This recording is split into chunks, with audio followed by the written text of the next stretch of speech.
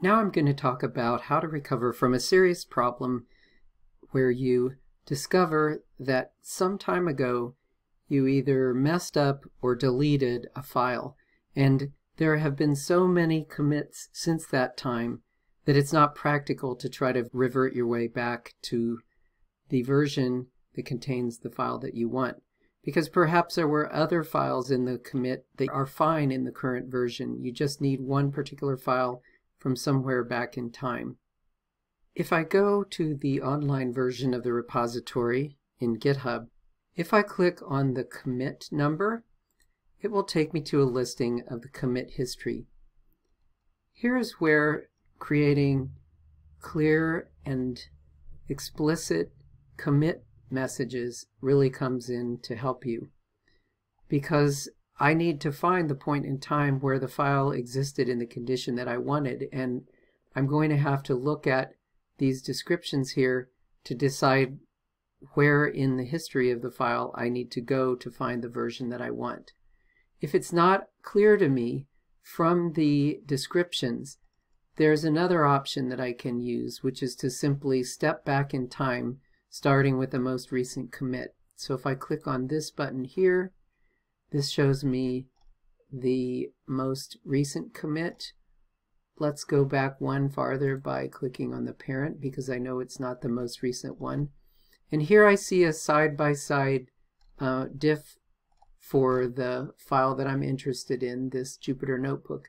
But this is not the change that I'm interested in. So let's go back another commit. All right, um, it looks like maybe this is the one that I want based on the changes that I'm seeing here. So now what I can do, this is uh, diff is showing me all the files that were added or changed in that particular commit. If I want to just go to this particular file, I can go up to this little dot dot dot here and select view file. And it will send me to the version of that file at that particular commit at that particular time in history. And now it's rendered it as a Jupyter Notebook so I can see, yes, this is the version that I want.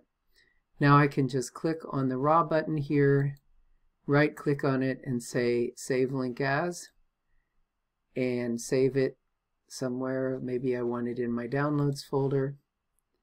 And now I'm good to go. I can just manipulate it however I want. It's actually a little bit easier to go through this process if you use GitHub Desktop.